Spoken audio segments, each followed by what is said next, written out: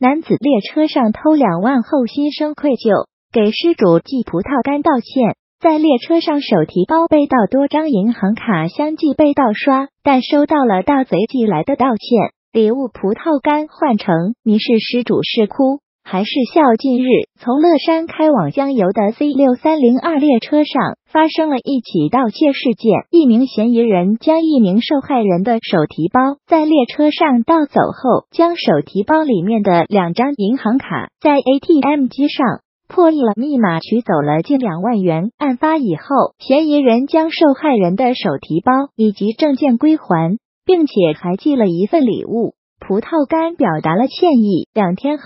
嫌疑人被成都铁路公安处民警。抓获七月十七日上午，成都铁路公安处乘警支队民警接到一名男子报警求助，称其乘坐 C 六三零二列车时，自己放在座位后面的手提包被盗，包里面有几千元现金、一部手机。五张银行卡，还有一些十分重要的证件，就在求助中。男子丢失的五张银行卡共计被盗取将近两万元。通过民警询问得知，男子丢失的五张银行卡背面都写有小小的“生日”两个字，来提醒自己。男子的银行卡密码又恰好就是他本人的生日。民警怀疑嫌疑人可能通过身份证上的生日号码。把密码破解，民警通过开展工作，逐步掌握了嫌疑人的情况。受害人给民警反馈了一个信息：他在手提包被盗后，向自己的被盗手机发了一条信息，